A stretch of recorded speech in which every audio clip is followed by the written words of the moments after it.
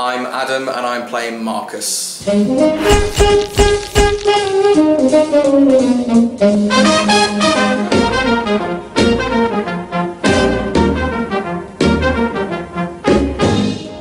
Marcus is a criminal. That's why we're here.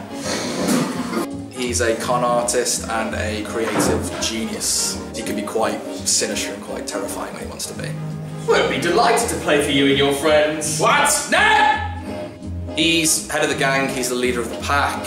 He comes up with the plan and the guys follow suit and do as they're told basically. what a coincidence that everyone's arriving at exactly the same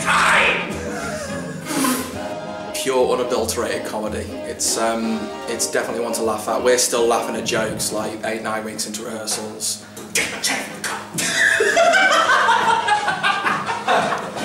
massive talent. So.